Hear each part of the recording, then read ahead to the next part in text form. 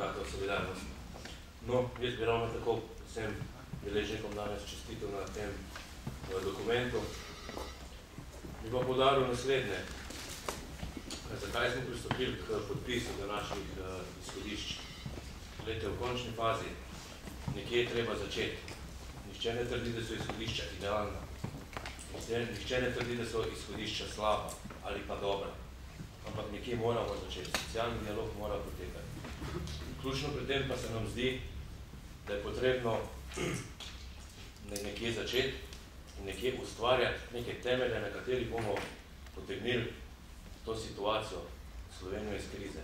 Ker enostavno se tukaj premetavati in obtoževati, kdo je povzročil krizo, nam kaj nič ne pomaga. V današnji situaciji točno vemo, kje smo, in iz te krize moramo priti skupaj ven.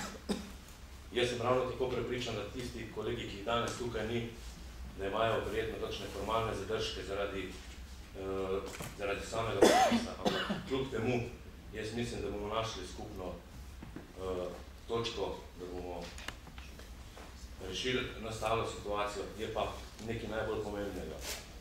Jaz mislim, da čas za rožljanje z orožjem v navednicah še lahko pride. Zdaj je čas za razum, da stisnemo glave skupaj, naredimo maksimum, v končni fazi, če pa ta dialog ne bo možen, se še pa vedno lahko vrnemo.